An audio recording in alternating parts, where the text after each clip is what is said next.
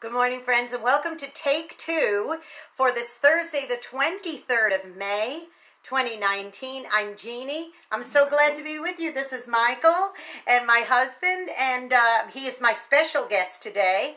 Now, I'll just give you a little bit of background before I have him share, and that is that for those of you who know, uh, and many of you do, last Friday Michael had to have surgery on his vocal cords, and uh, this rendered him speechless for five full days, which was kind of a challenge.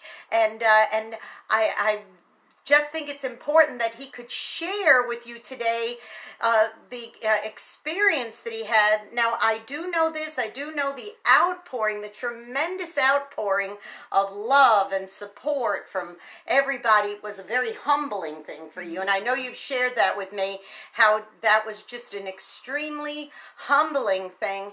But besides that, Michael, I would like for you to share with everybody. I'd like you to share what your uh, impressions were of having to be silent for five full days. What happened from this experience? Well, I was kind of excited, and excuse me if my voice is still healing. You're still a little froggy. But okay. I was quite excited about entering into this five days because I really wanted to enter into a time of contemplative prayer. Now, let me explain. If any of you have ever become Christians, accepted the Lord, you know that there was that plethora of books that were always around that spoke of the contemplative life. Uh, Fenelon, uh, Madame Guyon, Augustine, uh, mm-hmm. um, even Brother Lawrence. the Brother Lawrence, all the spoke of that uh, contemplative life, and it seemed like a really good and noble thing. The contemplative life being, you know, just sitting yourself in a place and being there, receiving everything that God has for you. Well, folks, we live in a different world and it didn't work out for me. Um, I learned some things, but it was an extreme struggle because of the world we live in and all the things that, that come with our world. But what really did work, or what I really did see, is that uh, being with the Lord or practicing the presence of God exists in our daily life, our daily routine, what we do, going to the grocery store, uh, going to the gas station, doing that kind of stuff that's where it really becomes, in a way, a dialogue and contemplative, you know.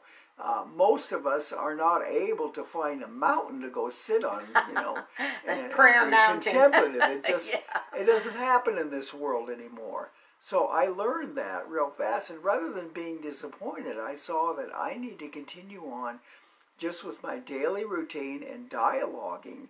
Uh, maybe having a special time of prayer, of course, nothing wrong with that, but using my day to be um, in a dialogue with God. So it was a very important lesson for me.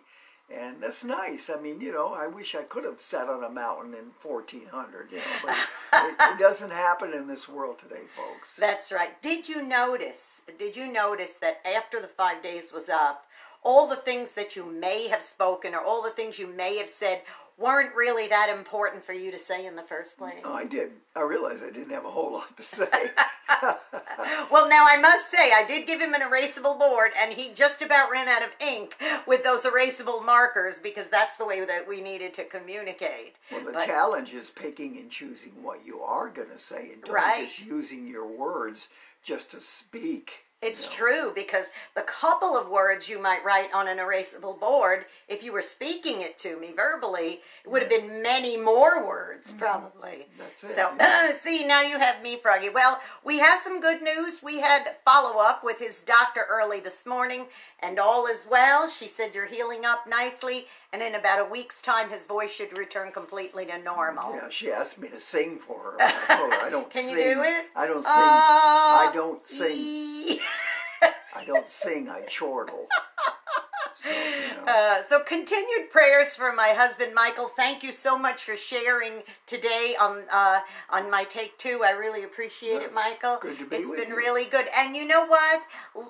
Go be a blessing to somebody today, boys and girls. You might end up being the only one who isn't. Let me say this: there were countless people who were a blessing to you They while were. you were as you've mm-hmm. been going through this journey, and it's really made a difference having that support, It hasn't has, it? it really It definitely does. Hey, don't forget to subscribe to my YouTube channel, Jeanne Sigler, J E A N N E S I G L E R. Hit that subscribe button, hit that notification little bell, and you'll know every time I've posted another Take Two. And of course, great music, great programming, great everything. WRMZ.org. Click that listen button. And listen to my show on That's Saturday. right, on Saturday, and it's a pre-taped one, so his voice will be normal, and uh, hopefully he'll be able to come into the studio and record a few more. That's heard on Saturdays at uh, 10 o'clock Central Time. Well, you have a great one today, boys and girls. Tomorrow's Friday, so I'll have my unsung hero of the week. Make sure you join me for that. And Michael, thank you so much for being with me today. Give you. me a kiss. Mwah. Oh, you have a good one, everybody. We'll see you tomorrow. Bye bye.